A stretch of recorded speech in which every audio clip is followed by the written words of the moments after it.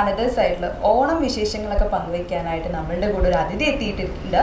അപ്പം ഈ ഒരു അതിഥിനെ എങ്ങനെയാ വെൽക്കം ചെയ്യാന്ന് വെച്ച് കഴിഞ്ഞാൽ നമുക്ക് ഒരുപാട് രീതിയിൽ വെൽക്കം ചെയ്യാം കേട്ടോ അപ്പൊ ഗേൾ ഞാനൊരു ഗേൾ ആയതുകൊണ്ട് തന്നെ നമുക്ക് വേണമെങ്കിൽ പറയാം ഭയങ്കര ഹാൻസം ആയിട്ടുള്ള ഒരു കൈയാണെന്ന് പറയാം. ഇനിയിപ്പോൾ ബോയ്സ് പറയാന്നുണ്ടെങ്കിൽ നമ്മുടെയൊക്കെ സ്വന്തം മസിൽ അളിയണെന്ന് പറയാം.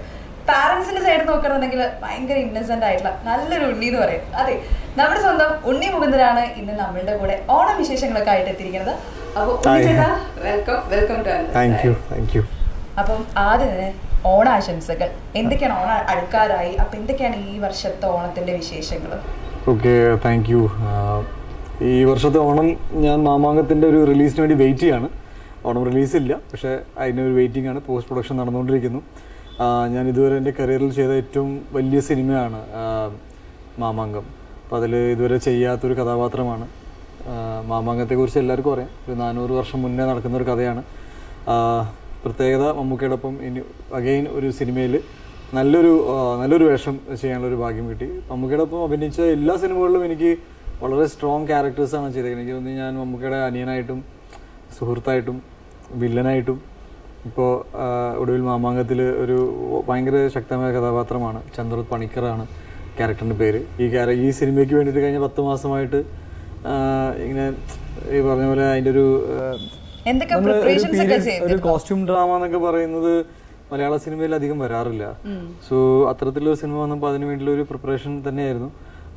സ്പെസിഫിക്കലി ചന്ദ്രോത് പണിക്കറിന്റെ കഥാപാത്രം ഒരു ചാവേർ ലൈനിൽ നിൽക്കുന്നതാണ്. അപ്പോൾ സ്ക്രിപ്റ്റ് വായിച്ച് ഡീറ്റെയിൽസ് ഒക്കെ അറിഞ്ഞപ്പോൾ മനസ്സിലായത് ഒരു ഡെഫിനറ്റ്ലി ഒരു ഭയങ്കരമായിട്ട് ഒരു എഫേർട്ട് എടുക്കേണ്ട സിനിമയാണ്.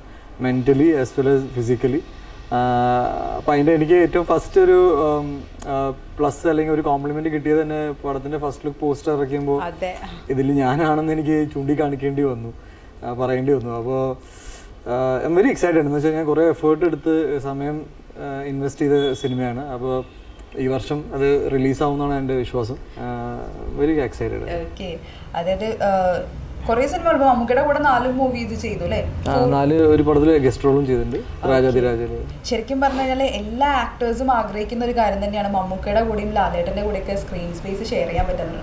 ഉണ്ണിച്ചേട്ടൻ രണ്ടും ദൈവാനുഗ്രഹം രണ്ടും സംഭവിച്ചിട്ടുണ്ട്. അപ്പൊ ശരിക്കും പറഞ്ഞാൽ എങ്ങനെയായിരുന്നു? ആദ്യം തന്നെ മമ്മൂക്കേനെ കണ്ട സമയത്ത് എങ്ങനെയുണ്ടായിരുന്നു? ഫസ്റ്റ് മലയാളം മൂവി മമ്മൂക്കയുടെ കൂടെ ആയിരുന്നു അല്ലേ?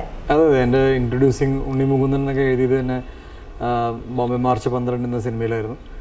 മമ്മൂക്ക ഭയങ്കര ജന ജന്മമുഖ എനിക്ക് വലിയ മാറ്റം ഈ അഞ്ചെട്ട് വർഷത്തിൽ ഫീൽ ചെയ്തിട്ടില്ല. എന്നോടുള്ള സമീപനം പുള്ളി അതേപോലെ തന്നെ നമ്മളെ വളരെ വളരെ കെയറിങ് ആയിട്ടാണ് മമ്മൂക്ക നമ്മളെ ട്രീറ്റ് ചെയ്യാറ് വെച്ചാൽ എനിക്ക് നല്ല സിനിമകളും പുള്ളിയുടെ സിനിമകളിൽ നല്ല വേഷങ്ങളാണെങ്കിൽ ഈവൻ എനിക്ക് ഓർമ്മയുണ്ട്. ഫയർ എന്ന സിനിമയിൽ മമ്മൂക്കയുടെ ഇൻട്രൊഡക്ഷനാണ് പിന്നെ എന്റെ ഇൻട്രൊഡക്ഷനെ മാറ്റിയത്. So is a very helpful guy പിന്നെ എനിക്ക് തോന്നിയത് ഞാൻ ആസ് എൻ ആക്ടർ ഗ്രോ ചെയ്ത് തന്നെ ഇവരുടെ ഒപ്പമൊക്കെ അഭിനയിച്ചതുകൊണ്ട് ഡെഫിനറ്റ്ലി ഒരു ഒരു കോമ്പറ്റീറ്റീവ് സ്പിരിറ്റ് കയറുമല്ലോ പിന്നെ ഒരിക്കലും മമ്മൂക്കയുടെ അല്ലെങ്കിൽ അലട്ടിനൊപ്പം അഭിനയിക്കുമ്പോൾ നമ്മളായിരുന്നതിൽ ഏറ്റവും മോശം എന്ന് പറയും ആരും പറയാൻ പാടില്ല. അപ്പോൾ നമ്മുടെ ഒരു ബെഞ്ച് മാർക്ക് ഭയങ്കരമായിട്ട് കൂടും. അഗെയിൻ കമ്മിങ് ടു ദാറ്റ് അതാണ് മാമാവ് എന്ന സിനിമയിൽ എന്റെ ഏറ്റവും വലിയൊരു കോൺഷ്യസ് എഫേർട്ട് എന്ന് വെച്ചാൽ ഞാൻ ഈ സിനിമയിൽ മോശമാവരുത്. ആർക്കും നമ്മൾ ചെയ്തത് നെഗറ്റീവായിട്ട് തോന്നരുത്. ബിക്കോസ് ഈവൻ മമ്മൂക്കയുടെ മമ്മൂക്ക ഫേസ്ബുക്കിലൊക്കെ ഇട്ടിട്ടുണ്ടായിരുന്നു. മമ്മൂക്ക ചെയ്ത ഏറ്റവും എക്സൈറ്റഡ് ആയിട്ട് വെയിറ്റ് ചെയ്യുന്ന സിനിമയാണ് മാമാങ്കം. ആസ് എൻ ആക്ടർ എന്നെ ഭയങ്കര ചലഞ്ച് ചെയ്ത വേഷമാണ്. സോ ഐ തിങ്ക് ഇവരുടെ കൂടെയൊക്കെ അഭിനയിച്ച് വന്നപ്പോൾ എന്നിലുണ്ടായ മാറ്റം എന്ന് വെച്ചാൽ ഐ എം വെരി ഫോക്കസ്ഡ് എനിക്ക് നമ്മളിപ്പോൾ പണ്ടത്തെ പോലെ അങ്ങനെ ശരി അഭിനയിക്കാൻ ഒരു ടേക്ക് പോലും അങ്ങനെ സീരിയസ് തന്നെയായിരുന്നു. ഡെഫിനറ്റ്ലി ഒരു നമ്മുടെ എക്സ്പീരിയൻസും പിന്നെ നമ്മുടെ സീനിയേഴ്സിനൊപ്പം വർക്ക് ചെയ്യുമ്പോൾ അവരൊരു സിനിമ എങ്ങനെ അപ്രോച്ച് ചെയ്യുന്നത് കാണുമ്പോൾ ഒരു നമുക്ക് അങ്ങനെയൊക്കെയാണല്ലോ പഠിക്കാം. സോ എനിക്ക് പിന്നെ അങ്ങനെ സിനിമ പാരമ്പര്യമൊന്നുമില്ല. എനിക്ക് നമ്മൾ നമ്മുടെ മിസ്റ്റേക്സ് ആണ് നമ്മുടെ ഏറ്റവും വലിയ ലെസൺസ് എന്നാണ് ഞാൻ മനസ്സിലാക്കുന്നത്. പിന്നെ കൂടാതെ നമ്മുടെ ഇപ്പോൾ മമ്മൂക്ക ലാലേട്ടൻ മാത്രമല്ല എനിക്ക് ഞാൻ എന്റെ ഏജ് ഗ്രൂപ്പിൽ നിൽക്കുന്ന എല്ലാ നടന്മാരും ചെയ്യുന്ന എല്ലാം നോട്ടീസ് ചെയ്യാറുണ്ട്. എനിക്ക് ഓക്കെ ആയി തോന്നുന്നത് ഞാൻ എടുക്കും. എനിക്ക് ഓക്കെ അല്ലാന്ന് തോന്നുന്നത് ഞാൻ അങ്ങ് എടുക്കാറില്ല. പക്ഷേ ഇവരുടെ കാര്യത്തിൽ ഞാൻ അധികം ഓക്കെ നോ ഓക്കെ അല്ല. മമ്മൂക്ക ചെയ്യുന്നത് ശരിയാണ്. അത് ബിക്കോസ് പല ഡയലോഗുകൾ പുള്ളി പറയും "ഉണ്ണി, ഈ ഈ ഈ വാക്കിൽ ഒന്ന് സ്ട്രെസ് ചെയ്തോ. ഞാനത് ചെയ്ത് നോക്കിയപ്പോൾ ഐ ഐ റിയലി ഫെൽഡ് അത് ആ ഡിഫറൻസ് ഉണ്ട്. സോ ലാംഗ്വേജിലാണെങ്കിലും സിനിമ എക്സ്പീരിയൻസ് ആണെങ്കിലും എനിക്ക് മമ്മൂക്കയുടെ നാനൂറ് സിനിമകളൊക്കെ അടുക്കാറായി എന്നാണ് തോന്നുന്നത് സോ ആ ഒരു എക്സ്പീരിയൻസിനെ വാല്യൂ ചെയ്ത് ചെയ്യുമ്പോൾ ഡെഫിനറ്റ് ആയിട്ട് എക്സ്പീരിയൻസ്ഡ് ആയതുകൊണ്ട് തന്നെ നമുക്ക് പറഞ്ഞിരുന്ന ഓരോ കാലം അത്രയും വാല്യുബിൾ ആയിട്ടുള്ള. സീരിയസ്ലി അപ്പൊ ഞങ്ങൾ അതേപോലെ തന്നെ ഭയങ്കര എക്സൈറ്റഡ് ആയിട്ട് വെയിറ്റ് ചെയ്തുകൊണ്ടിരിക്കുകയാണ് മാമ്പാങ്കത്തിനായിട്ട് അപ്പം ഓണം കേരളത്തിൽ എനിക്ക് അങ്ങനെ വലിയ ഓർമ്മകളില്ല. ചില സമയത്ത് ഷൂട്ടിംഗ് ഉണ്ടായിട്ടുണ്ട്. അപ്പോൾ എല്ലാ കലീഗ്സിനൊപ്പം വർക്കിംഗ് സദ്യ കഴിക്കാൻ എന്ന് തന്നെയാണ്. സദ്യ എനിക്ക് പൊതുവേ ഭയങ്കര ഇഷ്ടമാണ് അപ്പോൾ ഓണം വരുമ്പോൾ എനിക്ക് സദ്യ അതിനെ സംബന്ധിച്ചുള്ള പരിപാടികൾ പക്ഷേ ആക്ച്വലി ഞാൻ എൻജോയ് ചെയ്തത് ഗുജറാത്തിൽ ഞാൻ ഒരു പത്ത് വർഷം മുന്നേ ഗുജറാത്തിലുള്ള സമയത്ത് ഒരു മൂന്നോ നാലോ ദിവസം നീണ്ടു നിൽക്കുന്ന ഈ സമാജം പരിപാടികളൊക്കെ ആയിരുന്നു. അപ്പോൾ അതിൽ ഞാൻ ഭയങ്കര ആക്റ്റീവ് ആയിരുന്നു. ഭയങ്കര ആക്റ്റീവ് മെമ്പറായിരുന്നു അപ്പോൾ ഈ സദ്യ വിളമ്പ വിളമ്പാനും തലേന്ന് ഫുഡ് ഉണ്ടാക്കാനും സാമ്പാർ മറ്റേ എന്റെ വീട്ടിൽ പോലും ഞാൻ ഈ നാളികേരം ചിരട്ടി കൊടുത്തിട്ടില്ല.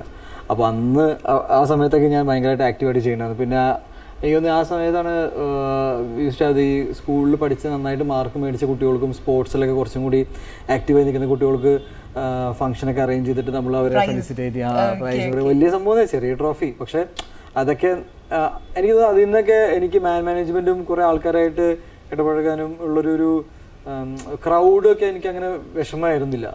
ഭയങ്കര നമ്മൾ പോസിറ്റീവായിട്ടാണ് കണ്ടത്. അത് സിനിമയിൽ എത്തിയതിനു ശേഷം കുറെ പേര് നമ്മളെ ഇഷ്ട ഇഷ്ടപ്പെട്ടിട്ട് നമ്മളെ കാണാൻ വരുമ്പോൾ ഒരിക്കലും അയ്യോ ഇത്രയും പേര് വന്നുല്ലോ അല്ലെങ്കിൽ ഇത്രയും ക്രൗഡിന്റെ ഇടയിലുള്ള so I think so many things ഇങ്ങനെ വന്നിട്ടുണ്ട്. പിന്നെ വീട്ടിൽ അച്ഛന്റെ അമ്മയോടൊപ്പം ഇപ്പം സദ്യ കഴിക്കുക എന്ന് മാത്രമേ ഉള്ളൂ. പിന്നെ ഞാൻ ഭയങ്കര ഭയങ്കരമായിട്ട് ലൗഡായിട്ട് ആഘോഷങ്ങളുടെ ഒരു ആളൊന്നുമില്ല. എനിക്ക് എനിക്ക് വേണ്ടപ്പെട്ട ആൾക്കാർ എന്റെ ചുറ്റും ഉണ്ടായാൽ മതി ആ സമയത്ത്. ഓക്കെ തൃശ്ശൂരല്ലേ ചേട്ടന്റെ വീട്? സ്വദേശി അപ്പൊ തൃശ്ശൂരുകാരനായിട്ടും വലിയ ആഘോഷങ്ങളോടൊന്നും വലിയ താല്പര്യമില്ലേ? ബിക്കോസ് ഞാൻ പറഞ്ഞില്ലേ തൃശ്ശൂർ ജനിച്ചതേ ഉള്ളൂ. പിന്നെ ഒരു പത്ത് ഇരുപത്തി ഒന്ന് വർഷം ഞാൻ ഗുജറാത്തിലായിരുന്നു. അപ്പോൾ എനിക്ക് തോന്നുന്നു ഓരോരുത്തരുടെ കാഴ്ചപ്പാടിലാണ് എനിക്ക് ആ എൻജോയ് എന്ന് വെച്ചാൽ എനിക്ക് കാണാനും എനിക്ക് അങ്ങനെ ഒരു സാഹചര്യം കിട്ടി ആരെങ്കിലും ഒരുക്കി തന്നാൽ ഞാൻ അതിൽ ഇൻവോൾവ് ആവും. പക്ഷേ ഗുജറാത്തിലായതുകൊണ്ട് ഓണത്തിന് ലീവ് കിട്ടുക അല്ലെങ്കിൽ പത്ത് ദിവസത്തെ വെക്കേഷൻ അങ്ങനെയൊന്നുമില്ല. സോ അന്ന് വീട്ടിൽ നമ്മളെല്ലാവരും ഒന്ന് സെറ്റ് ആവും. പിന്നെ അവിടുത്തെ മലയാളീസ് എല്ലാവരും അവർ അവർ ഒരു ഒരാഴ്ച മാറ്റി വെച്ചിട്ട് ഇവരെല്ലാവരും ഒരേ സമയത്ത് കോർഡിനേറ്റ് ചെയ്തിട്ട് ഒരു ഫംഗ്ഷൻ വെക്കും. So that was very special എന്ന് വെച്ചാൽ ഇവരെല്ലാവരും ജോലി തിരക്കിന്റെ ഇടയിൽ നിന്ന് ഒരുമിച്ച് ഒരുമിച്ച് വന്ന് അങ്ങനെ ചെയ്യുന്നത്. അപ്പോൾ അങ്ങനെ നല്ല സുഹൃത്തുക്കളുണ്ട് എനിക്ക്. എന്റെ എന്നെ പോലെ തന്നെ കേരളത്തിൽ ജനിച്ച് പുറത്ത് വളർന്ന ഇതായ കുട്ടികളൊക്കെ ഉണ്ട്. ഇപ്പൊ ഇപ്പൊ കുട്ടികളല്ല അവർക്ക് എല്ലാവർക്കും കുട്ടികളായി ഫ്രണ്ട്സിനൊക്കെ കുട്ടികളായല്ലേ? അപ്പൊ ഞങ്ങൾക്ക് ചോദിക്കല്ലേ എപ്പോഴാണ് പോവുകയാണോ? എന്നിങ്ങനെ ബാച്ചിലർ ആയി പോരല്ലോ? അതിനെ കുറിച്ച് വല്ല പ്ലാൻസ് ഒക്കെ actually I just fell that അവർക്ക് അങ്ങനെ ഒരു ഭാഗ്യം കിട്ടി. കറക്റ്റ് സമയത്ത് ചില കാര്യങ്ങൾ നടക്കുക. അതൊരു എനിക്ക് തോന്നുന്നു ആരും എന്റെ ഒരു ഫ്രണ്ടും അങ്ങനെ പ്ലാൻ ചെയ്യില്ല ഒന്ന് രണ്ട് പേർക്ക് ഇത്തിരി ലവ് അഫയർ ഒക്കെ ഉണ്ടായിരുന്നു. അവർ ലവിന്റെ ഒരു പ്രഷർ ഉണ്ടാവല്ലോ കെട്ടണം. അപ്പൊ ബാക്കി എല്ലാവർക്കും ആ ടൈമിൽ ജസ്റ്റ് ഹാപ്പൻ അപ്പൊ ഞാനും വിചാരിച്ചു ഞാനിനി നമുക്ക് ഒരു ഏജ് ആയി എന്നൊരു സാധനം വന്നിട്ട് ഞാൻ ഫോഴ്സ്ഫുള്ളി ഒരു ഇതിലേക്ക് പോണേക്കാട്ടും നല്ലത് ഒരു ഗ്രാജുവൽ അതിൽ ഉണ്ടാവട്ടെ എന്ന് വിചാരിച്ചു. നമ്മുടെ നാട്ടു നടപ്പ് അനുസരിച്ച് ആ സമയൊക്കെ ആയി. ആയി. എന്നുവെച്ചാൽ പക്ഷെ ഞാൻ ഒരിക്കലും ഈ ഒരു ഇതിന്റെ ഒരു ഒരു ഡീറ്റെയിൽ വേർഷൻ എന്ന് വെച്ചാൽ നമുക്ക് എല്ലാവർക്കും ഉണ്ട്. ഒരു ഇരുപത്തി ഒന്നാം വയസ്സിൽ അല്ലെങ്കിൽ ഇരുപത്തിരണ്ടാം വയസ്സിൽ ഡിഗ്രി കംപ്ലീറ്റ് ചെയ്യണം. ഒരു ടൈമുണ്ട്. ഒരു ഇരുപത്തി അഞ്ചാകുമ്പോഴേക്കും മിനിമം ഒരു ഒരു കാർ അല്ലെങ്കിൽ വണ്ടി ഒരു വീടിന് വേണ്ടിയിട്ടുള്ളൊരു ചിന്തകൾ വന്നിരിക്കണം. അപ്പോൾ ദാറ്റ് മീൻസ് നിങ്ങൾക്ക് ഒരു ജോലി ആയി കാണും. ഇരുപത്തി അഞ്ചാം വയസ്സിൽ നിങ്ങൾക്ക് ജോലി ഇല്ലെങ്കിൽ നിങ്ങൾ എന്തൊക്കെയോ പ്രശ്നത്തിലാണ്. ഒരു ഇരുപത്തി അഞ്ച് മുപ്പതാകുമ്പോഴേക്കും യു ആർ സെറ്റിൽ നിങ്ങളുടെ പ്രോ നിങ്ങൾ ചെയ്തുകൊണ്ടിരിക്കുന്ന ജോലിയിൽ നിങ്ങൾ ഏകദേശം ഒന്ന് സെറ്റിലായി അപ്പോൾ പിന്നെ ഓഫ് കോഴ്സ് നിങ്ങൾക്ക് കല്യാണം കഴിച്ചേ പറ്റൂ. എന്തുകൊണ്ട് നിങ്ങൾ കഴിക്കുന്നില്ല? അങ്ങനെ ഒരു ബെഞ്ച് മാർക്കിലാണ് ജീവിക്കുന്ന മൊത്തത്തിൽ. എന്റെ ലൈഫിൽ ഇതെല്ലാം ഓട്ടോ നേരെ എല്ലാ കാര്യം അതായത് ഞാൻ പ്ലസ് ടു വരെ പഠിച്ച് പിന്നെ ഞാൻ ഡിഗ്രിക്ക് പോകണമെന്ന് വിചാരിച്ചപ്പോൾ പഠിത്തം അവിടെ തന്നെ നിന്നു. പിന്നെ ഞാൻ ജോലിക്ക് കയറി. ട്വന്റി വണ്ണിലേക്ക് എന്റെ ഫ്രണ്ട്സ് ഡിഗ്രി ചെയ്യുമ്പോഴേക്കും ഞാൻ വെൽ സെറ്റിൽഡ് ആയിരുന്നു. എന്ന് വെച്ചാൽ എന്റെ ജോലി പക്കയായിരുന്നു. പിന്നെ എനിക്ക് ഡിഗ്രിയോട് വലിയ താല്പര്യം തോന്നിയില്ല. ഞാൻ എന്തിനാണ്? അപ്പോൾ ഞാൻ എന്റെ എന്റെ ജോലി നമ്മൾ അത്ര എക്സൈറ്റ് എക്സൈറ്റ്മെന്റ് തരാത്ത ഒരു അവസ്ഥയിലെത്തിയപ്പോൾ സൈമന്റസ്ലി ഞാൻ സിനിമ ചേസ് ചെയ്യായിരുന്നു. സിനിമ ചേസ് ചെയ്യേണ്ടി വന്നപ്പോൾ എന്റെ ഗുജറാത്തിന് ഡയറക്റ്റ് കേരളത്തിലേക്ക് എയർലിഫ്റ്റായി എന്റെ ഫ്രണ്ട്സ് പോയി എല്ലാം പോയി. ഞാൻ പെട്ടെന്ന് പുതിയൊരു സ്ഥലത്തേക്ക് വന്നു. ഞാൻ ഐ വാസ് ട്രൈ അപ്പോൾ എനിക്ക് സത്യത്തിലൊരു പത്ത് വർഷത്തെ ലൈഫേ ഉള്ളൂ ഇപ്പോൾ ഉണ്ടായിട്ട് അപ്പോൾ മനസ്സിന്റെ ഉള്ളിന്റെ ഉള്ളിൽ ഇപ്പോൾ അധികം സമയമായിട്ടില്ലല്ലോ നമ്മൾ അതിലേക്ക് ഇറങ്ങുന്നില്ല. എനിക്ക് എനിക്ക് തോന്നുന്നു അതായിരിക്കും ഇന്നത്തെ ജനറേഷൻ ഫേസ് ചെയ്യുന്ന ഏറ്റവും വലിയ പ്രോബ്ലം ഒരു ഇൻഡിപെൻഡൻസി വന്നതുകൊണ്ടേ. ലൈക്ക് എനിക്കൊരു നമ്മൾ ജോലി ചെയ്യുന്നുണ്ട് വീട്ടുകാര്യങ്ങൾ നോക്കുന്നുണ്ട്. വേറെ ഇമോഷണൽ ബാഗേജ് ഒന്നും നമുക്ക് ഫേസ് ചെയ്യുന്നില്ല. എനിക്കത് ഈ ജനറേഷൻ അങ്ങനെ ഒരു ഇതിലൂടെ പോയി ടെക് സംഭവങ്ങൾ. അപ്പോൾ അൺലെസ് ആൻഡ് നമുക്ക് ജെനുവിനിൽ അങ്ങനെ ഒരു ഒരു ഇത് വരാത്തവരെ ചെയ്യാണ്ടിരിക്കുക എന്നാണ് ബെറ്റർ പിന്നെ ആരെങ്കിലും വന്നു കഴിഞ്ഞാൽ ബട്ട് ഓബിയസ് ഞാൻ എന്റെ ഫ്രണ്ട്സിനെ കുട്ടികളെ കാണുമ്പോൾ നമുക്ക് ഇങ്ങനെ തോന്നുന്നു. അപ്പോൾ ഇന്ന് രാവിലെ എന്റെ എന്റെ മേക്കപ്പും ഇതൊക്കെ ചെയ്യുന്ന ചേട്ടൻ പറയും മൂന്ന് താടിക നേരെയൊക്കെ വന്നു എന്ന് പറഞ്ഞു. അപ്പൊ ഞാൻ ഓ. ആണോ? എന്റെ ഓർമ്മയിൽ ഒന്നും ഉണ്ടായിരുന്നില്ല. അവൻ പറഞ്ഞു ഇവിടെ ഇവിടുന്ന് കുറച്ച് ഉണ്ട്. അപ്പൊ ഭയങ്കര പ്രായമല്ല. എന്നാലും ഇതൊക്കെ എക്സ്പ്ലെയിൻ ചെയ്യാന്ന് പറഞ്ഞാൽ ഒരു പാടാ.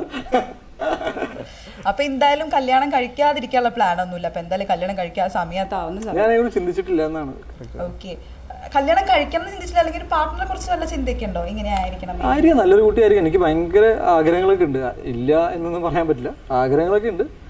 ഞാൻ പക്ഷേ ഓരോ വർഷം കൂടുമ്പോൾ ഞാൻ കുറച്ചും കൂടി പ്രാക്ടിക്കൽ ആയിക്കൊണ്ടിരിക്കുക ഭയങ്കര അങ്ങനെ ഇങ്ങനെയൊക്കെ ആയിരിക്കണം എന്നൊക്കെ പറഞ്ഞ് നമുക്ക് അങ്ങനെ എത്തിയില്ലെങ്കിൽ പിന്നെ ആ വ്യക്തിയോട് നമുക്ക് എന്നൊക്കെ ആയി പോകും ചിലപ്പോൾ ഒരു നല്ലൊരാളാണെങ്കിൽ വെൽ ആൻഡ് ഗുഡ് എന്ന് മാത്രം. പിന്നെ അതിലേക്ക് വരുമ്പോൾ നമ്മൾ ഡീറ്റെയിൽ ആയിട്ട് അതിലേക്ക് പോകും ഇപ്പൊ ഇപ്പം എന്നിൽ തന്നെ പല പ്രശ്നങ്ങളുണ്ടെന്ന് ഞാൻ തന്നെ റിയലൈസ് ചെയ്തു. ഞാൻ റിയലൈസ് ചെയ്യാത്ത എത്രയോ പ്രശ്നങ്ങളുണ്ടാവും. അപ്പോൾ അങ്ങനെ ഞാനൊരു ആ ഒരു സ്പേസിലേക്ക് എത്തി. ചില പ്രായത്തിന്റെ തന്നെ ആയിരിക്കാം. എന്റെ പല ഫ്രണ്ട്സ് പറയുന്നുണ്ട് അങ്ങനെയൊന്നുമില്ല. ഞാൻ പലതും ആഗ്രഹിച്ചിട്ടുണ്ടായിരുന്നു. പക്ഷെ ഞാൻ കിട്ടിയത് കണ്ടില്ലേ? ഈ ലൈനിലാണ് സംസാരിക്കുന്നത്. പക്ഷെ കുട്ടികളെ കാണുമ്പോഴാണ് നമുക്ക് ഒരു- ഈ ഏജിന്റെ പ്രത്യേകത എന്ന് വെച്ചാൽ ഒരു പാരന്റൽ ഇമോഷൻസ് തുടങ്ങും. ഡെഫിനറ്റ് ആയിട്ട്. നമുക്ക് ഇങ്ങനെ കുട്ടികളെ കാണുമ്പോൾ നമുക്ക് അവരായിട്ട് ടൈം സ്പെൻഡ് ചെയ്യാനും അതൊക്കെ ഇതൊക്കെ so that is more of parental emotion otherwise നമുക്ക് അങ്ങനെ തോന്നിയിട്ടില്ല. ഓക്കെ അപ്പൊ സിനിമയിൽ അഭിനയിക്കാന്നുള്ള ആഗ്രഹം കൊണ്ടാണോ അവിടെ നിന്ന് ഗുജറാത്തിൽ നിന്ന് കേരളത്തിൽ ഓക്കെ അപ്പൊ ആ ഒരു സമയത്ത് പ്ലസ് ടു കഴിഞ്ഞു പ്ലസ് ടു കഴിഞ്ഞ ഒരു ഗ്യാപ്പിൽ എന്താ ചെയ്തോണ്ടിരുന്നത് പ്ലസ് ടു കഴിഞ്ഞ ഗ്യാപ്പിൽ ജോലിക്ക് കയറി ഞാൻ. പ്ലസ് ടു കഴിഞ്ഞ് പിന്നെ ഞാൻ മറ്റിൽ ജോലി കയറി ഞാൻ പഠിക്കാൻ പോയിട്ടുണ്ടായിരുന്നു മൂന്ന് മാസം. പക്ഷേ അപ്പോഴും ഭയങ്കര എത്തിക്കൽ പ്രശ്നങ്ങളൊക്കെ ആയിട്ട് ഞാൻ കോളേജിൽ നിന്ന് ലിവിങ് സർട്ടിഫിക്കറ്റ് എടുത്തു. മൂന്ന് മാസം പോയി. അപ്പോൾ എന്റെ അമ്മ ടീച്ചറാണ് അമ്മയോട് പറഞ്ഞു അമ്മ അമ്മ തന്നെ പോയിട്ട് അത് എടുത്തു തന്നു പിന്നെ വീട്ടിലൊന്നും ഇരുന്നില്ല പെട്ടെന്ന് ജോലി കണ്ടെത്തി. ജോലി കണ്ടെത്തി ജോലിക്ക് പോകാൻ തുടങ്ങി. ജോലിക്ക് പോകാൻ തുടങ്ങിയപ്പോൾ തന്നെ അത് ഭയങ്കര ചേഞ്ച് ആയിരുന്നു എന്റെ ലൈഫിൽ എന്ന് വെച്ചാൽ എന്റെ ഫ്രണ്ട്സ് എല്ലാവരും ഒരു തേർട്ടി ഫൈവ് പ്ലസ് ചേട്ടന്മാരാണ് അപ്പോൾ ഞാൻ ആ കമ്പനിയിലത്തെ one of the very few undergraduates ആയിരുന്നു. അപ്പോൾ എനിക്ക് മിഡിൽ ലൈഫ് ക്രൈസിസിനെ കുറിച്ചാണ് നമ്മൾ കൂടുതൽ ഡിസ്കസ് ചെയ്യുന്നത്. അപ്പോൾ എനിക്കൊരു ടീനേജ് ഡിസ്കഷൻസ് ഉണ്ടായിട്ടില്ല കൂടുതൽ ബിക്കോസ് എന്റെ ഫ്രണ്ട്സ് എല്ലാവരും വലിയ ചേട്ടന്മാർ അപ്പോൾ അവർ കല്യാണം കഴിഞ്ഞ് രണ്ട് കുട്ടികളൊക്കെ ആയി. ഇനി ഇങ്ങനെയാണ് എന്റെ ലൈഫ് എന്ന് ഡാർക്ക് അടിച്ച് സംസാരിക്കുന്ന ഒരു ടൈം ഉണ്ടാവില്ലേ എല്ലാവരും ബിക്കോസ് ഒരു ഒരു സ്പേസ് ഉണ്ട്. അങ്ങനത്തെ ഒരു ഏജിൽ വരും എല്ലാവർക്കും. അപ്പൊ ഞാൻ ആ സമയത്ത് ഭയങ്കരമായിട്ട് ഡ്രീംസ് ഇങ്ങനെ ഇത് ഇതൊന്നും അല്ല അത്ര എനർജി കയറിയിട്ടേ അപ്പൊ ഞാൻ അപ്പൊ തന്നെ തീരുമാനിച്ചു ഇനി കൂടുതൽ ഇവിടെ നിൽക്കാൻ പറ്റില്ല. അങ്ങനെ ആ സമയത്താണ് ഞാൻ ലോയിസ് സാറിനെ കത്ത് എഴുതിയതും സാറിനെ കാണാൻ പോയതും. സോ പാരലലി എനിക്ക് ജോലി വിടാനും പറ്റുന്നില്ല. സാറിന്റെ ഫുൾ ടൈം അവിടെ നിൽക്കാനും പറ്റുന്നില്ല ബിക്കോസ് അത്രയും ഫെമിലിയർ അല്ലായിരുന്നു ഞാൻ. കേരളം അല്ലെങ്കിൽ എന്റെ വീട്ടിൽ മലയാളം സംസാരിക്കുക പിന്നെ സദ്യ കേരളം എന്ന് പറഞ്ഞ പച്ചപ്പ് കുറച്ച് ആന ഇതൊക്കെയാണ് കേരളത്തെ കുറിച്ചുള്ള നമുക്ക് ഗുരുവായൂർ ആ. ഇവിടെ ഒരു എന്റെ എന്റെ എന്റെ എന്റെ ലൈഫ് തന്നെ ഞാൻ അവിടെ ചെലവഴിക്കുമെന്ന് ഞാൻ ഒരിക്കലും ചിന്തിച്ചിട്ടുണ്ടായിരുന്നില്ല. പക്ഷേ സിനിമ സീരിയസ് ആയി എടുത്തപ്പോൾ എനിക്ക് ഹിന്ദി ചെയ്യണം എന്നായിരുന്നു ബട്ട് ഓബ്വിയസ് ബിക്കോസ് ഞാൻ ഗുജറാത്തിൽ പഠിച്ചു വളർന്ന കുട്ടിയാണ്. അപ്പോൾ എനിക്ക് ഹിന്ദി ഭയങ്കരമായിട്ട് സംസാരിക്കാൻ പറ്റുമെന്ന് പറഞ്ഞപ്പോൾ ഒരു പ്രൊഫൈലാണല്ലോ അപ്പോൾ പെട്ടെന്നൊന്നും അവിടെ കിട്ടില്ല എന്നപ്പോൾ ഒരു പ്രൊഫൈൽ ബിൽഡ് ചെയ്യാനാണ് മലയാളം ചെയ്താൽ നന്നായിരിക്കും. അപ്പോൾ പിന്നെ ഞാൻ മലയാളിയാണല്ലോ. എനിക്ക് എന്തുകൂടി ചെയ്തുകൂടാ ഞാൻ നാട്ടിൽ വന്നപ്പോൾ എന്റെ ഭയങ്കരമായിട്ടുള്ള കാഴ്ചപ്പാട് മാറി. എനിക്ക് ഭയങ്കരമായിട്ട് ഇഷ്ടപ്പെടാൻ തുടങ്ങി ഈ നാട്. ബിക്കോസ് ഗുജറാത്ത് ക്ലൈമറ്റ് വൈസ് തന്നെ ഭയങ്കര ഡ്രൈ ആ. ഇത് നേരെ ഹ്യൂമിഡാണ് കുറച്ച് ഈർപ്പം ഒക്കെ ഉള്ള സ്ഥലം. അപ്പോൾ എനിക്ക് ഭയങ്കര എല്ലാ രീതിയിലും ഭയങ്കര മാറ്റമായിരുന്നു. ഏഹ് ഗുജറാത്തീസ് ആൾക്കാർ അവരും ഡിഫറെന്റ് ആണ്. അപ്പോൾ എന്റെ ഒരു ഇരുപതാം വയസ്സിൽ എനിക്ക് ഭയങ്കര ചേഞ്ച് ഫീൽ ചെയ്തു. ഫ്രണ്ട്സ് ഇല്ല. ഭയങ്കര ഒറ്റപ്പെടൽ ഫീൽ ചെയ്തു. അപ്പോൾ ആ സമയത്ത് ഫുൾ എനർജി സിനിമയിലേക്ക് തന്നെ പോകണമെന്നായി ചിലപ്പോൾ അതുകൊണ്ട് മാത്രമാണ് ഞാൻ പിന്നെ പിന്നീട് എനിക്ക് സിനിമകളിലേക്ക് വേറെ ഒന്നും ചിന്തിക്കുന്നില്ലല്ലോ. എല്ലാം വിട്ടും പെറുക്കി ഇങ്ങോട്ട് വന്നില്ലേ. അപ്പോൾ ഇത് തന്നെ ചെയ്യണം എന്തെങ്കിലുമൊക്കെ ആയി തീരണം എന്നൊക്കെ. So I think so many things ഇങ്ങനെ ഡെവലപ്പ് ചെയ്തു. ആ സമയത്ത് ഉണ്ടാവുന്ന ഇപ്പോൾ ഫോർ ഫോർ എക്സാമ്പിൾ ഒരു പ്രണയം അല്ലെങ്കിൽ ഒരു പെൺകുട്ടീനെ കണ്ടുമുട്ടുക. ഇപ്പം ഞാൻ പത്ത് വർഷം പന്ത്രണ്ട് വർഷം പ്രണയിച്ച് നിൽക്കുന്ന ആൾക്കാരെ എനിക്കറിയാം. അപ്പം ഞാൻ ദൈവമേ അപ്പം എന്ന് വെച്ചാൽ ഒരു ഇരുപത് അല്ലെങ്കിൽ മിനിമം പത്തൊമ്പതെങ്കിലും ആകുമ്പോൾ ഇവർ പ്രണയിച്ച് കാണും. അപ്പോൾ ഞാൻ വെച്ച് പത്തൊമ്പത് വയസ്സ് ദൈവം ഞാൻ എന്റെ ഓക്ക എക്സ്പ്രസ്സിൽ ഇങ്ങോട്ടും ഇങ്ങോട്ടും ഓടിക്കൊണ്ടിരിക്കുക ഗുജറാത്തിൽ നിന്ന് ഇങ്ങോട്ട് വരണമെങ്കിൽ അഞ്ച് ദിവസം എടുക്കും അന്ന്. Five days you are inside that Okha എക്സ്പ്രസ്സിൽ അവിടെ എന്ത് പ്രണയം? അപ്പോൾ പിന്നെ ഓക്ക എക്സ്പ്രസിന്റെ ടിക്കറ്റ് മാറിയിട്ട് ആർ ഐ സി ആവും. ആർ ഐ സിയിൽ നിങ്ങൾക്ക് ഇരിക്കാം കിടക്കാൻ പാടില്ല. എനിക്ക് അതെല്ലാം അറിയാം. പിന്നെ നൈറ്റ് ആകുമ്പോൾ ഭയങ്കര പ്രശ്നമാണ് അപ്പോൾ എന്നോട് എന്റെ ആ ഞാൻ ഭയങ്കര അന്ന് മെലിഞ്ഞിട്ടൊക്കെ ആയിരുന്നു എന്റെ ഒരു അവസ്ഥ കണ്ടിട്ട് അവിടുത്തെ കാഫറ്റേറിയയിൽ ചേട്ടന്മാർ നമുക്ക് ഫുഡ് തരില്ലേ? അവർ സൈഡിൽ ഈ ബോട്ടിൽസ് ഒക്കെ ഇങ്ങനെ അട്ടിയൊക്കെ വെച്ചിട്ട് അതിൽ കിടന്നു എന്ന് പറയും. ബിക്കോസ് ഈ ഇരുന്ന് ഇരുന്ന് ആകെ ഇതായി പോകും. ആൻഡ് ദെൻ അങ്ങനെ കുറെ നല്ല നല്ല ഇന്ന് ഞാൻ തിരിഞ്ഞു നോക്കുമ്പോൾ അന്നത്തെ ഭയങ്കര ഡേഞ്ചർ സിറ്റുവേഷൻസ് ഒക്കെ ഇന്ന് എനിക്ക് ഓക്കെ നല്ല അനുഭവങ്ങളുണ്ട് ലൈഫിൽ എന്നൊക്കെ ആയി മാറി സോ ഓക്കെ അപ്പം പ്രണയത്തെ കുറിച്ച് എന്താ കൺസെപ്റ്റ് ഇതുവരെ ചേട്ടന്റെ ലൈഫിൽ ഇഷ്ടം തോന്നിയിട്ടുണ്ട്. പ്രണയം എന്ന് വെച്ചാൽ നമുക്ക് അതിലേക്ക് അങ്ങ് ഇറങ്ങാൻ പറ്റിയിട്ടില്ല. ഫുൾ ഫ്ലെഡ്ജ് ആയിട്ട്. എന്ന് വെച്ചാൽ ഞാൻ എപ്പോഴും ഒരു പ്ലാൻ ബി ഇല്ല ലൈഫിൽ എന്റെ ലൈഫിൽ ഒരു പ്ലാൻ ബി ഇല്ല. There is no plan B in life എല്ലാം പ്ലാൻ എ ആ പ്ലാൻ എ നന്നാക്കാൻ വേണ്ടിയിട്ട് നമ്മൾ സബ്സിഡറി പ്ലാൻസ് ഇടും. ആ ഇത് ഇത് ചെയ്താൽ ചിലപ്പോൾ പ്ലാൻ എ സെറ്റാവും അല്ലെങ്കിൽ ചിലപ്പോൾ അങ്ങനെയാണ്. അപ്പോൾ there is no plan B അപ്പോൾ പ്ലാൻ ബി ഇല്ലാത്ത രീതിയിൽ എപ്പോഴും പേടിയാണ് ഇറ്റ്സ് ലൈക്ക് അപ്പോൾ ഇതിൽ നിന്ന് നമ്മുടെ ഫോക്കസ് ഭയങ്കരമായിട്ട് ഡ്രിഫ്റ്റ് ചെയ്ത് പോയാൽ നമ്മളെ ആരും രക്ഷപ്പെടുത്താനോ അല്ലെങ്കിൽ നമ്മളെ പ്രണയിക്കാൻ പേടിയാണോ? പ്രണയിക്കാൻ പേടിയല്ല എന്നല്ല. എന്റെ ഒരു എന്റെ മേജർ കരിയർ ഉണ്ടല്ലോ. ലൈഫ് ഇതിലാണ്. പിന്നെ ഒരു പെൺകുട്ടി ഇഷ്ടപ്പെട്ടു എന്ന് പറഞ്ഞാൽ പിന്നെ ജോലി ഇല്ലെങ്കിൽ ഇഷ്ടമൊക്കെ പോകും എന്ന് എനിക്ക് വ്യക്തമായിട്ട് അറിയാം. അപ്പോൾ കരിയർ വൈസ് ഒരു വല്ലാത്തൊരു കരിയർ ആണല്ലോ. എന്ന് വെച്ചാൽ ഇതൊരു പാഷൻ ഡ്രിവൻ ഇൻഡസ്ട്രിയാണ് നിങ്ങൾ എത്രത്തോളം പാഷനേറ്റ് ആയിട്ട് ഇതിനെ ചേസ് ചെയ്യുന്നു നിങ്ങൾക്ക് അത് കിട്ടും എന്ന് എനിക്ക് ഞാൻ വിശ്വസിക്കുന്ന ആളാണ് ബിക്കോസ് സത്യം പറഞ്ഞാൽ എന്റെ ഒരു ബാക്ക് തിരിഞ്ഞു നോക്കുമ്പോൾ എനിക്ക് തോന്നുന്നു ഇങ്ങനെയൊക്കെ ഇവിടെ എത്തിയല്ലോ. അത് തന്നെ വലിയ ഭാഗ്യമാണ്. എന്ന് വെച്ചാൽ ഞാൻ വേറൊന്നും ചെയ്തില്ല. എനിക്ക് ഒരു ഡയറക്റ്റ് ആക്സസ് ഒന്നും ഉണ്ടായിരുന്നില്ല. ഇന്നത്തെ കുട്ടികൾ ഈ ഫേസ് ഫേസ്ബുക്ക് ഇൻസ്റ്റാഗ്രാമിൽ ഡയറക്റ്റ് മെസ്സേജ് അയക്കുന്നുണ്ട്. ചേട്ടാ ഇത് വേണം സെൽഫി വീഡിയോ വേണം അല്ലെങ്കിൽ ഇത് വേണം. മറ്റേ ഷോർട്ട് ഫിലിം ചെയ്തു ഇത് ചെയ്തു. എനിക്ക് ഇതിനെക്കുറിച്ച് ഒരു നോളജ് ഉണ്ടായിരുന്നില്ല. നമ്മൾ വണ്ടി എടുത്ത് ഇങ്ങനെ പോവുക ഡയറക്ടേഴ്സിനെ കാണുക നമ്മുടെ ഒരു ഇമോഷൻ പറഞ്ഞ് എനിക്ക് അഭിനയിക്കാൻ അറിയാം അല്ലെങ്കിൽ എല്ലാം ഫേസ് വാല്യൂവിൽ കിട്ടിയ അവസരങ്ങളാട്ടോ. ആരും എന്നോട് ഇതുവരെ അഭിനയിച്ച് കാണിച്ചതാ എന്നൊന്നും പറഞ്ഞിട്ടില്ല. എല്ലാവർക്കും ഒരു ഒരു ട്രസ്റ്റ് ഉണ്ടല്ലോ. ബ്ലൈൻഡ് ട്രസ്റ്റിന്റെ പുറത്താണ് കാര്യങ്ങൾ നടന്നത്. ഇന്ന് അങ്ങനെയല്ല. ഇന്ന് എല്ലാവർക്കും പ്രൊഫൈൽ ഉണ്ട് പോർട്ട്ഫോളിയോസ് ഫാഷൻ അത് ഇന്ന് ലാസ്റ്റ് ത്രീ ഫോർ ഇയേഴ്സ് ഞാൻ കാണുന്ന ചേഞ്ച് ആണ്. അപ്പൊ ഞാൻ വിചാരിച്ചു ദൈവമേ ഒരു ആറ് വർഷം മുന്നേ വന്ന് നന്നായി. എന്നെ കൊണ്ടൊന്നും പറ്റൂല. Never had a portfolio done എനിക്ക് അങ്ങനത്തെ ഒരു ഒരു മൈൻഡ് സെറ്റിലല്ലായിരുന്നു പക്ഷേ ദൈവം സഹായിച്ചിട്ട് ഇപ്പോൾ അത്യാവശ്യം നല്ല സിനിമകൾ ചെയ്യാൻ പറ്റിയ ആൾക്കാർക്ക് നമ്മൾ ഇഷ്ടമാണ് they want me to do well അപ്പോൾ അതുപോലെ തന്നെ അങ്ങനെ ഇരിക്കുമ്പോഴാണ് ഒരു ഒരു എവിടെ എവിടെന്നെങ്കിലൊക്കെ നമുക്ക് ചെറിയൊരു ഒരു ഇഷ്ടം വരുമ്പോൾ നമ്മൾ ഇനിയിപ്പോൾ ഡ്രിഫ്റ്റായി പോവോ എന്ന് പേടിച്ചിട്ട് പലതും നമ്മൾ തിരിച്ചിട്ടുണ്ട് ബട്ട് അങ്ങനെ. പക്ഷെ അത് നല്ലൊരു ഇമോഷനാണ് എന്ന് വെച്ചാൽ സിനിമയിൽ അത് തന്നെയാണല്ലോ ഫുൾ ടൈം കാണിക്കുന്നത്. ഞാൻ ഞാൻ എന്നാ പിന്നെ സിനിമയിൽ എനിക്ക് എന്റെ അവസ്ഥ എന്ന് വെച്ചാൽ എനിക്കാണെങ്കിൽ ലവ് സ്റ്റോറി അത് തരുന്നുമില്ല. ആ ഉണ്ണി മുന്നിന് ഒരു ഉദാലിട്ടി ഡി ഡി ഓക്കെ പുതിയൊരു പടം വരുന്നുണ്ടല്ലോ ചോക്ലേറ്റ് റീലോട് റൊമാന്റിക് മൂവിയാണോ ഒരു എന്റർടൈനർ ആണ്? അതിന് തൊട്ട് മുന്നേ ഞാൻ മേപ്പടിയ എന്ന് പറഞ്ഞ പ്രൊജക്ട് ചെയ്യും. അതാണ് അനൗൺസ് ചെയ്തിട്ടുണ്ടായിരുന്നത്. അപ്പോൾ അതിന്റെ ചോക്ലേറ്റിന്റെ പ്രീ പ്രൊഡക്ഷൻ കുറച്ചും കൂടി സമയമെടുക്കും. Meppadiyan is like ready to shoot അപ്പോൾ കുറച്ചും കൂടി എന്താ പറയുക ഇപ്പോൾ മാമാങ്കം എന്ന സിനിമയിൽ ഒരു ചന്ദ്രോത് പണിക്കർ എന്നൊക്കെ പറഞ്ഞ ഒരു ഒരു യോദ്ധാവിനെ കണ്ടതിന് ശേഷം പെട്ടെന്ന് എനിക്ക് തോന്നി നമ്മളൊരു സാധാരണ വ്യക്തിയാണെന്ന് ആൾക്കാർ മറന്നുപോകും സിനിമയ്ക്ക് അങ്ങനത്തെ ഒരു ചെറിയ പ്രശ്നമുണ്ട്. അതായത് ഒരു ഇമേജ് ഇപ്പോൾ മല്ലു സിംഗ് ഇപ്പോഴും ആൾക്കാരുടെ മനസ്സിൽ ഇങ്ങനെ നിൽക്കുന്നത്. ഇപ്പം എന്ത് ചെയ്താലും മല്ലു സിംഗിന്റെ അത്ര വന്നില്ല എന്ന് പലപ്പോഴും പലരും എന്നോട് പറയാറുണ്ട്. അത്ര എത്തിയില്ല എന്ന്. സോ വാട്ട് ഹാപ്പൻ സംടൈംസ് ചില ക്യാരക്ടേഴ്സ് ഭയങ്കരമായിട്ട് നല്ല രീതിയിൽ എഴുതി കഴിഞ്ഞ ശേഷം നമുക്ക് തന്നെ അത് ബേർഡനായി മാറും. ചിലപ്പോൾ ചന്ദ്ര പണിക്കർ അങ്ങനത്തെ ഒരു സിനിമ ക്യാരക്ടർ ഒന്നും അല്ല പക്ഷേ ഇറ്റ്സ് എ പ്രോമിനന്റ് നല്ലൊരു സാധനമാണ്. അപ്പോൾ ഞാൻ വിചാരിച്ചു കുറച്ചും കൂടി ഒരു ഏർത്തി സാധാരണ ഒരു പയ്യന്റെ ഒരു സിനിമ പറയുന്ന ഒരു കഥ പറയുന്ന ഒരു സിനിമയായിരിക്കും മയപ്പടിയാൻ വിച്ച് ഇസ് എനിക്ക് അങ്ങനെ റെയർലി അങ്ങനത്തെ ജോൺറ കിട്ടാറ്. ബിക്കോസ് എനിക്ക് തോന്നുന്നു ഈ ഫിസിക്കിനെ ഫിസിക്കിലേക്ക് ഫോക്കസ് പോയിട്ട് ചില സാധാരണ എനിക്ക് എപ്പോഴും ഭയങ്കര അതിശയം തോന്നിയിട്ടുണ്ട്. മലയാള സിനിമയിൽ സാധാരണ പയ്യൻ എന്ന് പറഞ്ഞാൽ അവൻ എന്ന് വെച്ചാൽ ഫുഡ് കഴിക്കാണ്ട് ഭയങ്കര മെലിഞ്ഞ എന്തെങ്കിലും ട്രാജഡി അടിച്ച ഒരാളെയാണ് സാധാരണ കഥ എന്റെ കാഴ്ചപ്പാടിൽ ഒരു സാധാരണ വ്യക്തി ഭയങ്കര ആരോഗ്യമുള്ള ഒരു അത്യാവശ്യം വിദ്യാഭ്യാസവും ബിക്കോസ് ഞാൻ അങ്ങനത്തെ ഒരു സാധാരണക്കാരനാണ്. ഞാൻ come from middle class family അപ്പോൾ എന്റെ വീട്ടിൽ എനിക്ക് അത്യാവശ്യം നല്ല ഫുഡും വിദ്യാഭ്യാസം തന്നുന്നുണ്ട് ആൾക്കാരോട് പെരുമാറാനും പഠിപ്പിച്ചിട്ടുണ്ട്. സോ ഒരു സാധാരണ ഒരാളെ ഞാൻ എന്നെ പോലെ കാണുന്നത്. അപ്പോൾ എനിക്കിത് ഒരു ഇത്തിരി ശരീരം വെച്ചു എന്ന് പറഞ്ഞാൽ വലിയ ഇതായിട്ട് തോന്നിയിട്ടില്ല. പക്ഷെ എന്റെ അടുത്ത് കഥ പറയുമ്പോൾ വളരെ സാധാരണ ഒരു പയ്യൻ. പക്ഷെ മസിലൊന്നും വേണ്ട. ഞാൻ പറയാ. സോ ആ ഒരു ക്ലീശയിലുണ്ട്.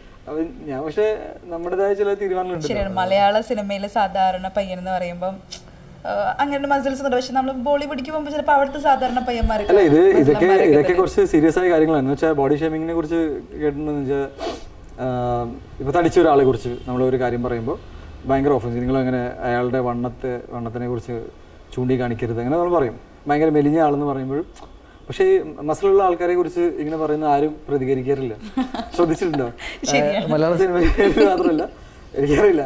ഒരു അത്യാവശ്യം മസിലുള്ള ഒരു നായകന്റെ ഇടി മേടിക്കാൻ പറ്റുന്ന ഒരു ഗുണ്ട അല്ലെങ്കിൽ ഗുണ്ടയുടെ മണ്ടനായ ഗുണ്ട അല്ലെങ്കിൽ അപ്പോൾ ഞാൻ എപ്പോഴും ശ്രദ്ധിച്ചിട്ടുണ്ട് ഇവരെ മൊത്തത്തിൽ മലയാള സിനിമയിൽ എപ്പോഴും ഒരു കളിയാക്കിയിട്ടാണ് ഇവരെ ട്രീറ്റ് ചെയ്തേക്കണേ.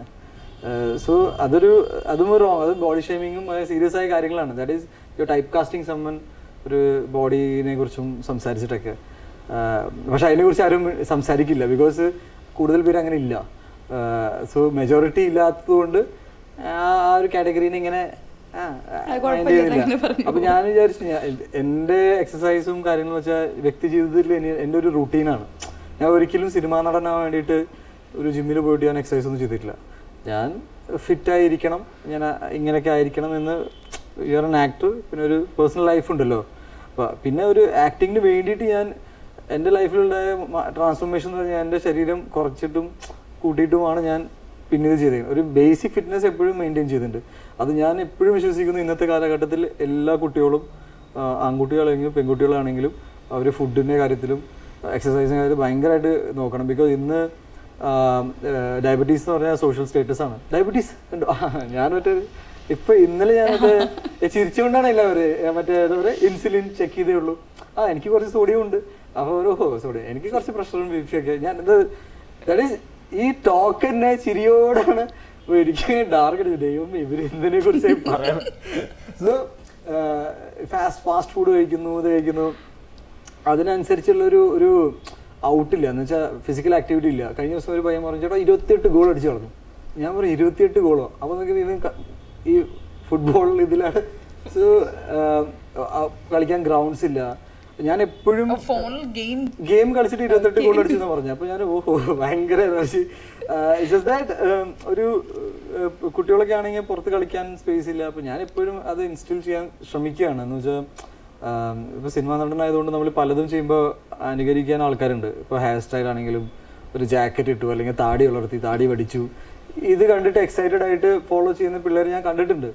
അപ്പൊ ഞാൻ എപ്പോഴും വിചാരിച്ചു നോക്കിയാ എന്നാ പിന്നെ ഒരു നടൻ അയാളുടെ ലൈഫ് അയാളുടെ ലൈഫ് സ്റ്റൈൽ ഇങ്ങനെയാണെന്ന് അറിയുമ്പോൾ പത്തിലൊരാളെങ്കിലും അത് ഫോളോ ചെയ്യണമെങ്കിൽ well and good job done for me അപ്പോൾ അതും കൂടിയാണ് എന്റെ ഒരു ഇനിയിപ്പോൾ ആര് ചെയ്തില്ലെങ്കിലും ഞാൻ എക്സസൈസ് ചെയ്യും.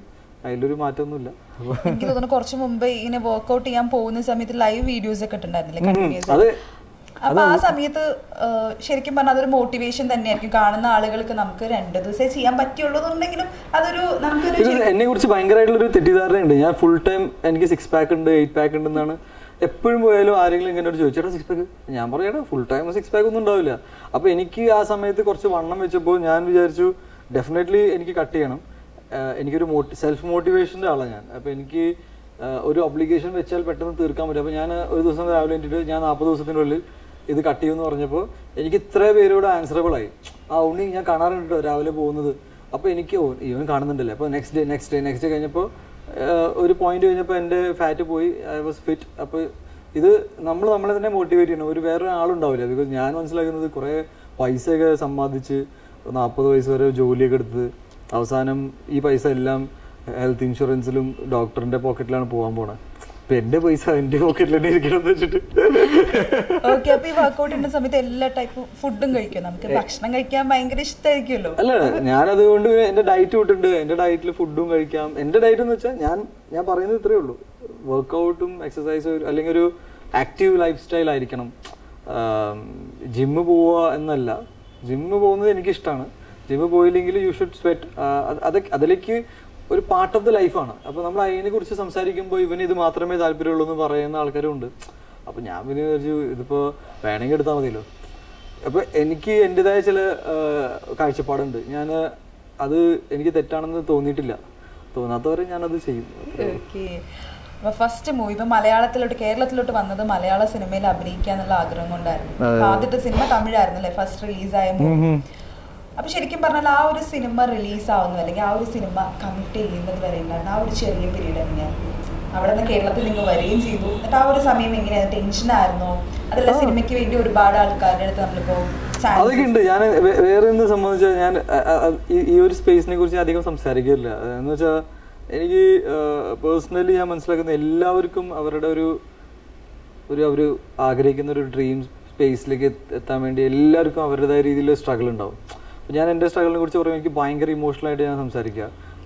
വിച്ച് മൈ നോട്ട് ഇത്രയേ ഉള്ളൂ അല്ലേ? അപ്പോൾ ഞാൻ നോക്കുമ്പോൾ വേറൊരാളുടെ ലൈഫിനെ കുറിച്ച് നോക്കുമ്പോൾ അയാൾക്ക് അതിനെക്കാട്ടും ഇത്രയൊക്കെയോ ഫേസ് ചെയ്തിട്ടുണ്ട്. പക്ഷേ എന്റെ പ്രശ്നം എനിക്ക് ഭയങ്കര പേഴ്സണലാണ് എനിക്ക് മറ്റേ പറഞ്ഞ് ഉണ്ണിച്ചേട്ടൻ ഡാർക്ക് അടിച്ച് ഭയങ്കര അത് അങ്ങനെ മെലോ ഡ്രാമ ക്രിയേറ്റ് ചെയ്യാൻ ഇഷ്ടമല്ല. ഒരു തവണ പറ്റിയിട്ടുണ്ട്. അത് നമ്മൾ അതിനെ അതിനെക്കുറിച്ച് സംസാരിക്കുമ്പോൾ അങ്ങനെ കണ്ണൊക്കെ നിറഞ്ഞു പോകും ഭയങ്കര പ്രശ്നമാണ് അത് ചില ആളുകൾക്ക് അതൊരു മോട്ടിവേഷനോ അത് മോട്ടിവേഷൻ ആയിരിക്കും. ഞാൻ പറയുന്നത് മോട്ടിവേഷൻ രണ്ട് തരത്തിൽ കൊടുക്കാം. നിങ്ങൾ നമ്മുടെ ലൈഫിലെ സ്ട്രഗിൾസിനെ കുറിച്ച് പറഞ്ഞ് പറഞ്ഞ് പറഞ്ഞ് ഒരാളിവിടെ എത്തി എത്തിയെന്ന് പറയാം.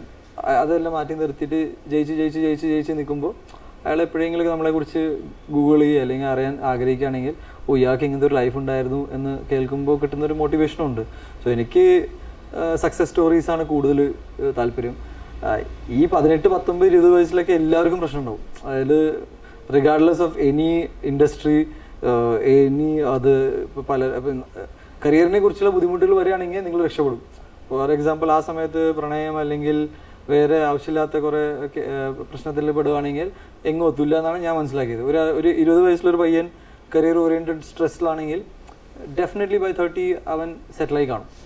അതാണ് ഞാൻ മനസ്സിലാക്കി ബിക്കോസ് കരിയർ എന്ന് വെച്ചാൽ നിങ്ങളുടെ നെക്സ്റ്റ് ലെവൽ ഗ്രോത്ത് ആണ്. പ്രണയം അല്ലെങ്കിൽ ഒരു മറ്റേതൊക്കെ വെച്ചിട്ട് സ്ട്രെസ് അടിച്ച് നടക്കുകയാണെങ്കിൽ കൂടി പോയ ബ്രേക്കപ്പ് അല്ലെങ്കിൽ ഒരു എന്താ പറയുക ഒരു ഡാർക്ക് സ്റ്റോറി പിന്നെ ഇരുപത്തി അഞ്ചാം വയസ്സിൽ പിന്നെയും എന്തെങ്കിലുമൊക്കെ ചെയ്യാൻ ആഗ്രഹിക്കുന്നു.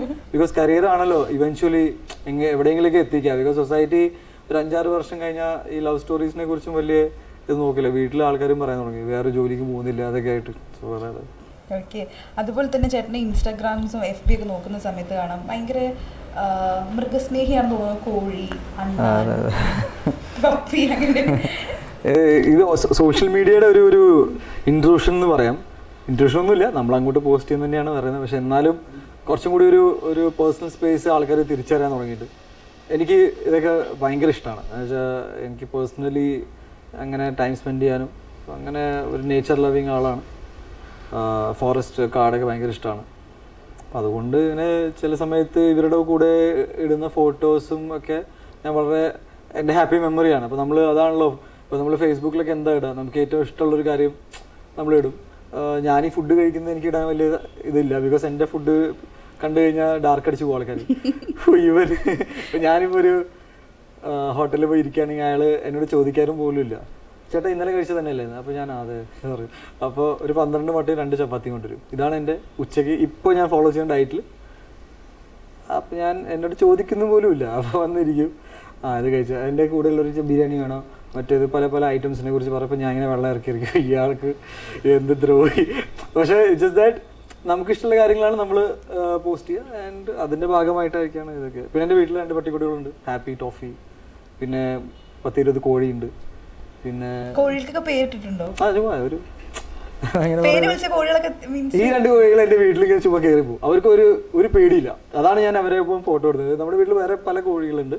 അവർ നാരായണൻകുട്ടി മാധവൻകുട്ടി പക്ഷെ ഇവന്മാര് ഞാനൊരു ദിവസം വീട്ടിൽ വന്നപ്പോ അമ്മയുടെ അടുത്തേക്ക് നിൽക്കുക. അപ്പൊ ഞാൻ അവർക്ക് ഇതെന്താ ഇവർ ഇങ്ങനെ ഇവർക്ക് പേടിയൊന്നുമില്ല. അപ്പൊ അവൻ പറയാ അവർക്ക് ഈ രണ്ട് ടീംസിന് ഒരു പേടിയുമില്ല.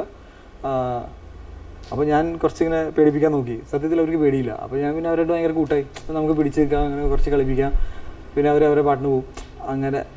അപ്പോൾ ഞാൻ അവരോട് ഇപ്പോൾ ടൈം സ്പെൻഡ് ചെയ്തപ്പോൾ ഒരു ഒരു പോസിറ്റീവ് തുടങ്ങി അപ്പോൾ എന്റെ ചേച്ചിയുടെ മുകളിൽ ഫോട്ടോ എടുത്തു. ഞാൻ പോസ്റ്റ് ചെയ്തു ജസ്റ്റ് അത്രേ ഉള്ളൂ. അതിന്റെ മുകളിൽ വേറെ ഡീറ്റെയിൽഡ് കഥയൊന്നുമില്ല. പക്ഷേ ഇവർ മറ്റ് എന്റെ വീട്ടിലെ മറ്റു കുഴയെ കമ്പാരിറ്റീവ്ലി ഇവർക്ക് ആരെയും പേടിയില്ല. അതുപോലെ തന്നെ നമ്മൾ സോഷ്യൽ നെറ്റ്വർക്സിൽ കണ്ട മറ്റൊരു കാര്യമായിരുന്നു. ഈ ഒരു ആരാധകരൻ സൺഗ്ലാസ് ചോദിച്ചു ചേട്ടൻ അത് അഡ്രസ്സിൽ അയച്ചു കൊടുത്തു? അത് എന്തായിരുന്നു സംഭവം ഇത് എന്ത് സംഭവം വെച്ചാൽ ഇത് ഒരു ഇപ്പോൾ ഈ ഇൻസ്റ്റാഗ്രാമൊക്കെ യൂസ് ചെയ്യുന്ന എനിക്ക് ഞാൻ മനസ്സിലാക്കിയത് ഇപ്പോൾ ഭയങ്കര ഒരു ഒരു ഒരു പതിനഞ്ച് പതിനാല് വയസ്സുള്ള കുട്ടികളൊക്കെയാണ് ചെയ്യുന്നത്. അപ്പോൾ ഒരു ദിവസം ഇങ്ങനെ ഇട്ട് ഇട്ടപ്പോൾ ഞാൻ എനിക്ക് അങ്ങനെ ആ ബിക്കോസ് എനിക്ക് തോന്നിയിട്ടുണ്ട് ഇഷ്ടം കൊണ്ടാണല്ലോ. ചിലപ്പോൾ ഇല്ലാത്തതുകൊണ്ട് തന്നെ ആയിരിക്കും. ഞാൻ ഒരിക്കലും ഒരാൾക്ക് അയാൾക്ക് മാനേജ് ചെയ്യാൻ പറ്റാത്ത കാര്യം കൊടുക്കാറില്ല. എന്നുവെച്ചാൽ ഭയങ്കര വില കൂടിയ കണ്ണാടിയൊന്നും അല്ല അത്. ഒരു സാധാരണ ഒരു പയ്യന് ഒരു പത്ത് ഇരുപതിനായിരം രൂപയുടെ കൂളിംഗ് ഗ്ലാസ് അയച്ചു കൊടുക്ക കൊടുക്കുന്നത് ശരിയല്ല. ബിക്കോസ് കയ്യിൽ എന്താ ഉള്ളതിന്റെ വേർത്ത് മനസ്സിലാവാണ്ട് ആരും ഒന്നും യൂസ് ചെയ്യാൻ പാടില്ല. ഇത് സാധാരണ സംഭവമാണ്. എന്റെ ചേച്ചി എനിക്ക് ഗിഫ്റ്റ് ചെയ്ത ഒരു കൂളിംഗ് ഗ്ലാസ്സാണ് എനിക്ക് പണ്ട് തൊട്ട് മറ്റേ ഇങ്ങനെ തുറക്കുന്നത് ഭയങ്കര ഇഷ്ടമാണ് അപ്പോൾ പുള്ളിക്കാരത്തി ഇവിടെ നിന്നൊക്കെ തപ്പി പിടിച്ചിട്ട് എനിക്കിത് അയച്ചു തന്നു ഞാനത് ഇട്ടിട്ട് ഭയങ്കര സ്റ്റൈലായിട്ട് ഇട്ടപ്പോൾ ആ ഒരു സന്തോഷത്തിന്റെ ഒരു സമയത്ത് ഒരാൾ ചോദിക്കുമ്പോൾ നമുക്ക് കൊടുക്കണ്ടെന്ന് ആ- ഒരു സ്പോട്ട് മൂമെന്റ് നടന്നതാണ് ഇതൊരു കുറേ രണ്ട് മാസമായി കാണും. പിന്നെ ഈ ഓൺലൈൻ മീഡിയയുടെ ഒരു സോഷ്യൽ അപ്പോൾ ഇവന് അത് കിട്ടിയപ്പോൾ അവന്റെ സന്തോഷം അവൻ പങ്കുവയ്ക്കുന്നു അവൻ എഴുതുന്നു. പിന്നെ എനിക്ക് ഉണ്ടായിരുന്നു ഈ should he should get it because ഞാനത് അയച്ചു തരാമെന്ന് പറഞ്ഞതോടെ അത് എനിക്കുണ്ടായിരുന്നു നമ്മൾ പറഞ്ഞു ചെയ്തു. പിന്നെ ഞാൻ നോക്കിയപ്പോൾ അവൻ മെലിഞ്ഞിട്ട് ചെറിയ ചെക്കനാണ് അപ്പോൾ അവന് ഇഷ്ടപ്പെട്ടു പിന്നെ അവന്റെ അനിയൻ എനിക്കൊരു മെസ്സേജ് അയച്ചു. എനിക്ക് ഭയങ്കര സന്തോഷം തോന്നി ബിക്കോസ് ഇതൊരു ആനക്കാര്യമൊന്നുമില്ല പക്ഷേ സംതിങ് ദാറ്റ് ഐ തിങ്ക് നമുക്ക് ഇഷ്ടമുള്ളൊരു കാര്യം നമ്മൾ പങ്കുവെച്ചാൽ നമുക്ക് നമ്മൾ വിചാരിക്കും ഏഹ്, ഇത് എനിക്ക് ജീവിക്കാൻ പറ്റില്ല. എനിക്ക് ഏറ്റവും ഇഷ്ടമുള്ള കാര്യം ഞാൻ ഈ ഫോൺ ഈ ഫോൺ ഇപ്പോൾ ചോദിക്കരുത്. ഞാൻ പറയാണ്. പറയാണ് എന്നുവെച്ചാൽ നമ്മൾക്ക് ഇതില്ലെങ്കിൽ ജീവിക്കാൻ പറ്റില്ല എന്നൊരു സാധനമൊക്കെ ഉണ്ടാവുമല്ലോ അപ്പോൾ നമുക്ക് എന്റെ ചേച്ചി എനിക്ക് തന്ന സംഭവമാണ് നമുക്ക് നമുക്ക് കൊടുക്ക നമുക്ക് ഇറ്റ് ഈസ് ഓൾ ഓക്കെ എന്നൊരു അവൻ എന്നോട് പറഞ്ഞു ഇങ്ങനെയൊക്കെ ആ കുട്ടി നമ്മൾ സംസാരിക്കുമ്പോൾ നമുക്ക് ഭയങ്കര സന്തോഷം തോന്നി. ഇതെല്ലാം ഒരു സോഷ്യൽ മീഡിയയിൽ ഞാൻ അതാണ് പറയണേ ഇപ്പോൾ കഴിഞ്ഞ മൂന്ന് വർഷത്തിലുണ്ടാകുന്ന ഭയങ്കര ആക്സസ് ആണ്. ഇപ്പോൾ നമ്മുടെ ഫാൻസൊക്കെ അല്ലെ ഇഷ്ടം നമ്മളെ ഇഷ്ടമുള്ള ആൾക്കാരൊക്കെ നമ്മളെ നേരിട്ട് വിളിച്ച് കുറേ നേരം സംസാരിക്കും which never use to happen initially ഇപ്പോൾ എല്ലാവർക്കും ഡയറക്റ്റ് ആക്സസ് ആണ്. അപ്പോൾ ഈ ഒരു ചേഞ്ചും ഞാനിങ്ങനെ ഇപ്പോൾ ആക്ച്വലി ഉൾക്കൊണ്ട് വരികയാണ് ഞാൻ കുറേ ആൾക്കാർ പോസിറ്റീവായിട്ട് പറഞ്ഞിട്ടുണ്ട്. കുറേ പേര് എന്നോട് അതിന്റെ നെഗറ്റീവ് വശവും പറഞ്ഞിട്ടുണ്ട്. പക്ഷെ ഞാൻ ഇപ്പോഴും പറയുന്നു ഞാൻ ഒരിക്കലും ഒരാൾക്ക് അയാൾക്ക് ഹാൻഡിൽ ചെയ്യാൻ പറ്റാത്തൊരു കാര്യം കൊടുക്കാറില്ല. ബിക്കോസ് അതൊരു ഒബ്ലിഗേഷനായി മാറരുത്. ഓ എനിക്ക് ഇയാൾ ഇത്രയും വില കൂടിയ സാധനം തന്നു. ഇനി ആ ജീവിതകാലം മുഴുവനും ഇയാളുടെ എന്താ പറയുക ഒരു ഒരു ബേർഡനിൽ നിൽക്കും ഞാൻ. അവന് വേണമെങ്കിൽ എനിക്ക് അതേപോലെ ഒരു ഗ്ലാസ് മേടിച്ച് തന്നു കഴിഞ്ഞാൽ വി ആർ ഈവൻ ഗിഫ്റ്റ് ചെയ്യാന്ന് പറയുമ്പോൾ നമുക്ക് ആ ഒരു ഗിഫ്റ്റ് എപ്പോഴും ഗിഫ്റ്റിന്റെ ഭയങ്കര ഒരു വാല്യബിൾ തന്നെ സോ ആ രീതിയിലാണ്. എനിക്ക് ഇഷ്ടമാണ് എന്ന് വെച്ചാൽ ഈ കുട്ടികൾ നമ്മളോട് സംസാരിക്കുന്നതും നമുക്ക് വേണ്ടി രണ്ട് മെസ്സേജ് അയക്കാൻ ഇവർ സമയം കണ്ടെത്തുന്നതൊക്കെ വാല്യൂ ഇട്ട് അപ്പോൾ അതിന്റെ ഭാഗമായിട്ട് എല്ലാം ഇതൊക്കെ പ്ലാൻ ചെയ്ത് പ്ലാനിങ് കൊടുത്തു കഴിഞ്ഞാൽ ഞാൻ ഒരിക്കലും ചെയ്യില്ല. ബിക്കോസ് ഞാൻ ചിന്തിക്കും എന്റെ ചേച്ചി എനിക്ക് തന്നാണ്. ചേച്ചി എന്ത് വിചാരിക്കും? ഇനി ചേച്ചി ഒരിക്കലും തരില്ല. അവർ വിഷമായി പോവും. ഇതൊന്നും ഇല്ലാണ്ട് ടക്കയെന്ന് ചെയ്ത് കഴിഞ്ഞാൽ കഴിഞ്ഞു. ആരും ചോദിക്കില്ല പറയില്ല അപ്പോൾ ആ ആ രീതിയിൽ ചെയ്താൽ ആക്ച്വലി ഈ ഒരു ഗിഫ്റ്റ് ഇത് ഗിഫ്റ്റ് ചെയ്തതിന് ശേഷം വേറെ ആരെങ്കിലും ചോദിച്ചോ? ഇതുപോലെ ആക്ച്വലി ഇത് പറയാന്ന് പല സ്ഥലത്ത് പോകുമ്പോൾ കൊടുത്തിട്ടുണ്ട്. ഞാൻ പറയും ഇത് സോഷ്യൽ മീഡിയയിൽ വന്നുകൊണ്ട് മാത്രം ഈ ഒരു കേസ് ഇങ്ങനെ വന്നു എന്റെ ലൈഫിൽ എന്റെ കൂളിംഗ് ഗ്ലാസ് ഞാൻ അധികകാലം ഉപയോഗിച്ചിട്ടില്ല. ആരെങ്കിലൊക്കെ ചോദിക്കുമ്പോൾ അത് അങ്ങ് കൊടുക്കുക എന്ന് തന്നെ ശീലം. ഇന്നിപ്പോൾ ഞാൻ വന്നപ്പോൾ ഞാൻ ചോദിച്ചു ബൈക്ക് ഓടിക്കുകയാണ് ഒരു കൂളിംഗ് ഗ്ലാസ് ഇല്ലല്ലോ അവർ എല്ലാം കൊടുത്തില്ലേ? പക്ഷേ ജസ്റ്റ് ദാറ്റ് അത് വലിയ സംഭവമായിട്ടല്ല കാണുന്നത് പക്ഷെ എനിക്ക് സന്തോഷമുണ്ട്. കുറേ പേര് അതിന്റെ ഒരു പോസിറ്റീവ് സൈഡ് കാണുന്നത് എനിക്ക് നമുക്ക് ഞാൻ പറയില്ലേ ഇതില്ലെങ്കിൽ പറ്റില്ല എന്നൊരു കൺസെപ്റ്റ് ഒന്നുമില്ല കൊടുത്തു കഴിഞ്ഞാൽ നമുക്ക് സന്തോഷം തോന്നും എന്നൊരു അവന് അവന്റെ ഈ ഏജിൽ അങ്ങനെ ഒരു സംഭവം തോന്നുകയാണെങ്കിൽ ഞാൻ അവനോട് പറഞ്ഞിരുന്നു. നിനക്ക് ഏതെങ്കിലും പോയിന്റിൽ നിനക്ക് ആരെങ്കിലും ആരെങ്കിലും നിന്നോട് എന്തെങ്കിലും ചോദിക്കുകയാണെങ്കിൽ നോ എന്ന് പറയേണ്ടവന് ഒന്ന് ആലോചിച്ചോ എന്ന് പറഞ്ഞു. So is happy I mean like അങ്ങനത്തെ ഒരു നല്ലൊരു റിലേഷൻഷിപ്പും ബിൽഡ് ചെയ്യാൻ പറ്റിയിട്ടുണ്ട്.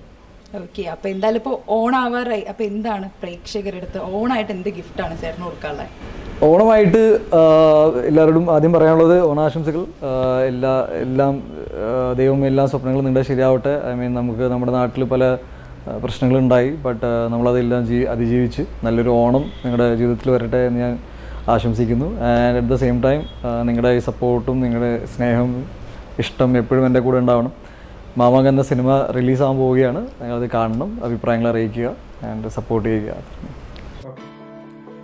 ദിനവും പുതിയ വാർത്തകൾ വിശേഷങ്ങൾ വിനോദ പരിപാടികൾ എന്നിവ ഏറ്റവും വേഗത്തിൽ നിങ്ങളിലേക്ക് എത്താൻ ഈ വീഡിയോ ലൈക്ക് ചെയ്തോ ഷെയർ ചെയ്തു ബെൽബട്ടൺ അമർത്തി സബ്സ്ക്രൈബ് ചെയ്യുക.